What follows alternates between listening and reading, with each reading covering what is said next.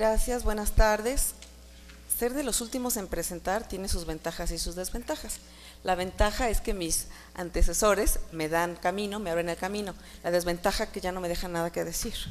Pero bueno, eh, por lo tanto, voy a, eh, en todo caso, va a servir como reforzamiento de cosas que ya se han mencionado y como dice Pati Gudiño, bueno, pues que es el aprendizaje, así que seré repetitiva, reiterativa y reverberante para reforzar algunas de las cosas ya citadas. Bueno, ¿por qué hablar de recursos didácticos abiertos? Eh, cuando estaba preparando la, presentación, justamente vi los grandes temas del, Congreso y decía, bueno, la vez pasada hablé algo de calidad, bueno, ya he mencionado ta, ta, ta, pero de los recursos didácticos hay muy poco escrito. Entonces, por eso me entró la inquietud de ver qué había y cómo analizar un poco sobre el tema y entonces compartirlo con ustedes. Finalmente, todos los que estamos aquí somos eh, usuarios de la educación a distancia, estamos interesados en compartir conocimientos, en compartir contenidos, programas académicos, etcétera.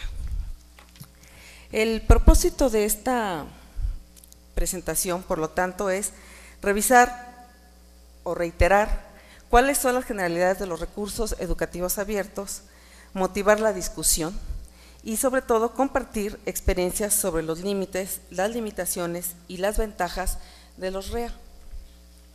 En este sentido, ¿qué son los recursos didácticos abiertos? Como les decía, había muy poco escrito.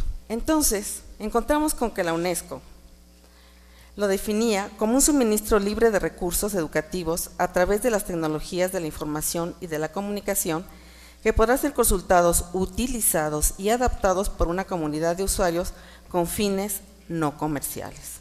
Y complementa en otro documento esta idea mencionando que el material se ofrece en forma gratuita y abierta para ser reutilizado en la enseñanza, el aprendizaje y la investigación. En todo caso, la idea es impulsar la comprensión del concepto, fomentar el interés de que de lo que poseen un capital cultural y que lo quieran compartir con otros. ¿Cómo se originan los REAS?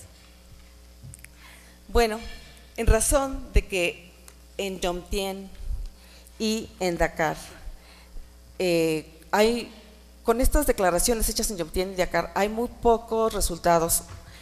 Entonces, eh, con relación a lograr la equidad y la calidad de la educación para todos y el interés de promover la cultura de la paz, en el foro sobre el mercado, pues, sobre el impacto de la Open Courseware en la educación superior de los países en desarrollo en el año de 2002, eh, la, el MIT propuso un proyecto a 10 años con el apoyo financiero de la Fundación William y Flora Hewlett y la Fundación Mellon, y, fueron quienes comenzaron a trabajar este tema.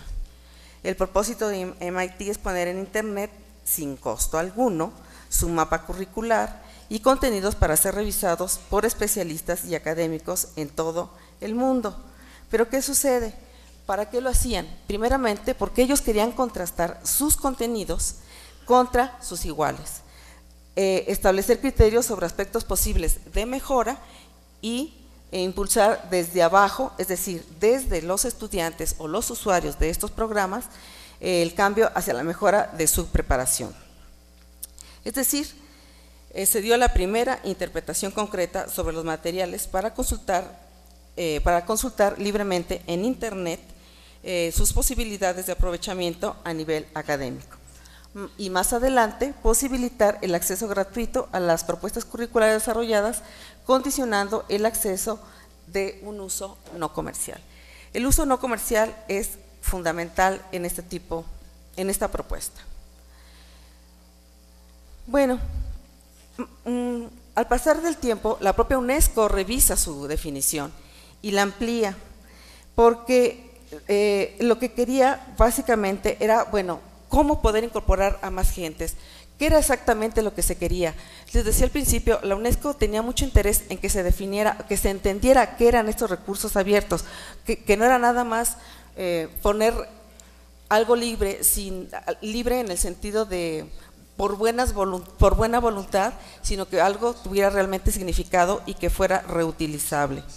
Eh, eh, se suma a esta idea la OCDE y amplía la definición mencionando que son herramientas educativas con posibilidades de aplicación en la educación formal e informal para resolver la demanda de educación a lo largo de la vida, sobre todo para atender los retos que enfrenta la educación superior, insuficiente capacidad de matrícula y necesidad, la actualización y el reforzamiento de los contenidos.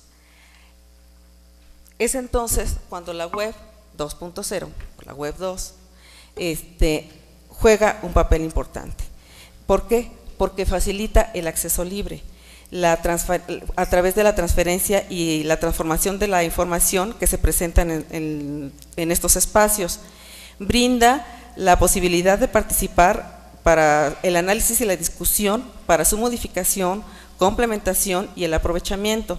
Además, abre espacios de interacción y como ya se mencionaba anteriormente, no es que no los hubieran eh, existido, que no, que no hubiera habido anteriormente, sino que ahora son mucho más flexibles y permiten eh, que haya una participación mucho más estrecha. Y hace realidad uno de los principales objetivos de la enseñanza, que es la apropiación de los conocimientos. No obstante, hay algunas problemáticas a resolver. Es decir, eh, ¿qué pasa con los derechos de autor o el copyright, las licencias de uso, el financiamiento para que la gente trabaje y comparta, la interoperatividad, incentivar la producción de los docentes como parte de su labor por decir algunos. Hay una gran preocupación sobre los, sobre los plagios, ya que como todos sabemos están a la orden del día. Se pone algo, se comparte algo y después se apropian, que mientras fuera para el propio conocimiento está muy bien, pero que se apropien de las ideas es donde ya empiezan a haber problemas en este sentido. No de las ideas, de los proyectos, de las propuestas, o sea, más allá. ¿Cuáles serían las condiciones para su apertura? Apoyados por la Fundación Hewlett, se creó el CC Learn, una división de Creative Commons, que ya tuvimos ahí una presentación, a cargo de los asuntos legales, técnicos y sociales asociados a los propósitos de compartir y reutilizar materiales educativos en tres vertientes. Compartir materiales de estudio bajo licencias que posibiliten la interoperatividad, impulsar el uso de estándares y herramientas técnicas para facilitar el acceso y utilización de los materiales, promover entre estudiantes y docentes la utilización de recursos educativos disponibles en Internet apoyarse en ellos para generar nuevos contenidos o mejorar los ya existentes. Sin menoscabo de la apertura, ¿Cómo definir los criterios y mecanismos para evitar una deformación con datos falsos, inexactos o motivados por la buena voluntad, pero vacíos de significado, previendo que sus efectos pueden ser contrarios a lo que se pretende y lejos de fortalecer la difusión del conocimiento, se convierte en una buena desinformación? Hasta ahora sabemos por nuestra propia experiencia que los usuarios aportan elementos de corrección, pero ¿será suficiente? Si el uso de materiales no necesariamente crea un vínculo con la institución emisora, por un lado, la necesidad de un proceso de selección que atienda necesidades, características y disponibilidad de medios específicos para cada institución.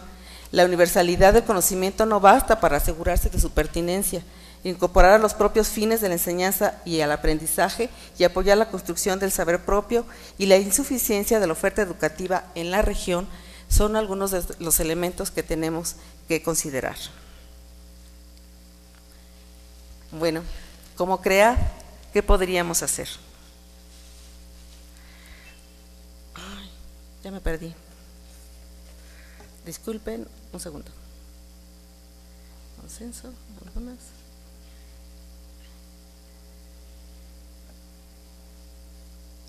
Ya.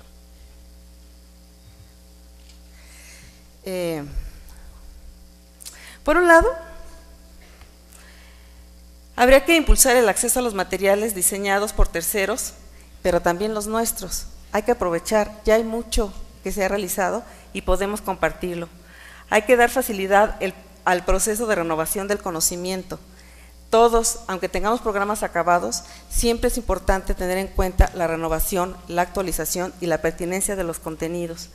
Hay que abrir espacios virtuales para intercambio acerca de su contenido, generar espacios de seguimiento para propiciar su asimilación utilizando la red como medio, identificar errores, faltantes o insuficientes en los grados antecedentes de eh, dominio de competencias, estrategias, herramientas y evaluación de los aprendizajes, es decir, la educación media, la educación básica.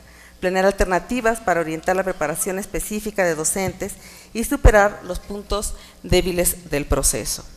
La utilización de los REA debe conducir, por tanto, a establecer alianzas institucionales regionales para aprovechar las similitudes culturales y de enfoques extrarregionales para incorporar elementos que reduzcan nuestras diferencias, ampliar las perspectivas e introducir innovaciones que nos permitan potenciar los resultados e intentar aplicaciones educativas de la tecnología acordes con las perspectivas que favorecen la réplica y la producción del conocimiento a lo largo de la formación. Como ven, nada nuevo bajo el mar, simplemente es reiterar lo que aquí se ha estado señalando.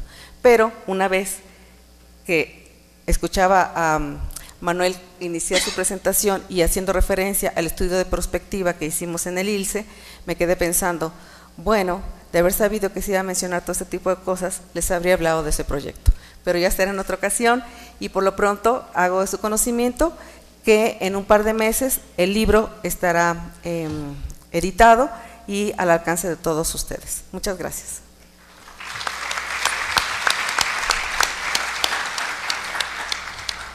Gracias Patricia por la presentación.